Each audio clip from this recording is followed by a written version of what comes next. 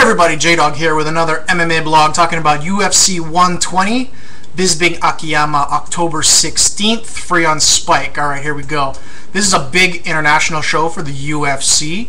Uh, they're over in the UK. They've got two of their top UK fighters uh, in this show. First off, Bisping and Akiyama.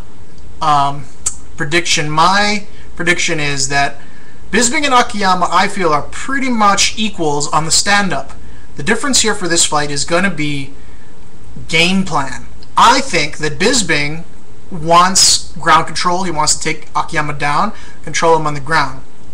I think Akiyama thinks his stand-up is better than Bisping's, and he wants to stay on the feet and knock him out on the feet.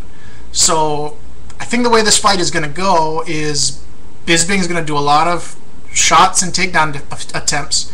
Akiyama is going to do a lot of takedown defense and work the sprawl and brawl.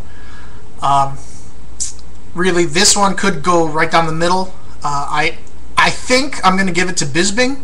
Uh, I think he's going to get the takedowns and get the ground and ground and pound and control Akiyama for the three rounds or get a stoppage. Um, also, Dan Hardy and Carlos Condit. I am really looking forward to this fight. Dan Hardy's a buddy of mine, and um, uh, you know, he, he, was a top contender. He his last fight was the loss against GSP, and Carlos Condit is the 170 pound, the last 170 pound champion for the WEC. And for whatever reason, when the UFC bought out the U WEC, they didn't have uh, unification title fights like they had for uh, when they bought out Pride. So Carlos Condit, uh, he's he was the last WEC champion, going up against the former top contender. Um, in my opinion, this should have been the fight that was the main event, and Akiyama and Bisping could have been down a step. But anyway, uh, Dan Hardy is my buddy. I'm going with him.